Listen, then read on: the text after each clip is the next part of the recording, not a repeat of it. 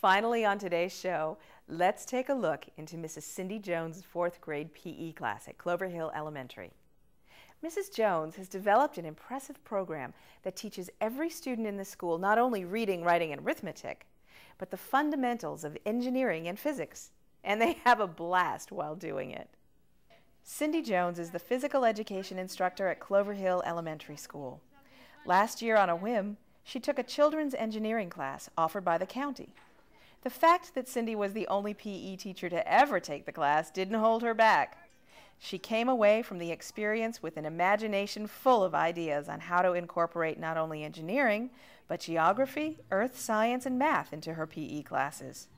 She developed a curriculum that closely complements the SOLs for each grade level, from kindergarten to fifth grade, and the kids, parents, and other teachers love it. Our PE teacher, Mrs. Jones, she set up like activities for us to do for electricity, magnets, sim simple machines, and and it's a lot of fun. Soon after implementing the program, Cindy's principal, Amy Bosher, also suggested she apply for the MCD Award for Initiative and Innovation in Educational Practices, which comes with the $3,500 cash prize. Cindy won the award. When I finished the Children's Engineering Project, uh, my principal, Amy Bosher, saw the, my project and she said, Cindy, this is very innovative and so what, I would like for you to, to apply for the MCD award. And so um, I said, okay, so sure. So they, they give out um, money that you can in, implement these programs. So I um, applied for it and it took about a, you know, for a while to, to announce it. They announced it on a Wednesday and then they uh, took teacher votes for Teacher of the Year the next day. It was just good timing. A two-story map of the world on the gym wall gets the kids physically involved in geography.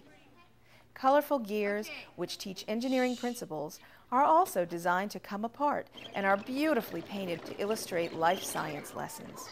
It was a community effort, really. I, I had the idea, but I had tremendous networking and, I mean, resources to pull from.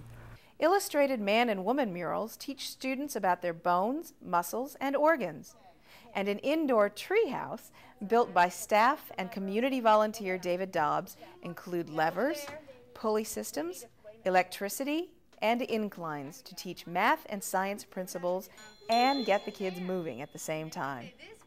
Cindy also designed several physical exercises that incorporate the simple machine principles she learned in the children's engineering class. Students hoist themselves into swings by means of pulley systems and move each other around with gears or a lever and fulcrum. They make seesaws, play wedge tag, and even play a musical chair type game that utilizes closed and open circuit electricity. The emphasis is on moving and learning at the same time.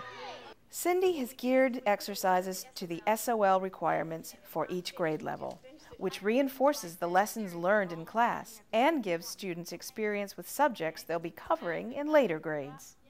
The reaction of the students and teachers has been enthusiastic, and the kids really respond to Cindy's kinesthetic approach to teaching. I like the map because you get to throw stuff at it. the feedback from the faculty has been overwhelming, really. They've been awesome. They, they said, I think this is great, and you know, they, they love that it's a backup for what they're teaching. So it's just another um, I'm just reinforcing what the classroom teachers are doing. But the person who gets the biggest thrill from the program may be Cindy herself. I think the most exciting part for me was to see something that I had designed that got squeals and you know hollers and just just really you know especially you know with the pulleys they always squeal and the the lights and the gears and the map and everything they just just get, there's so much excitement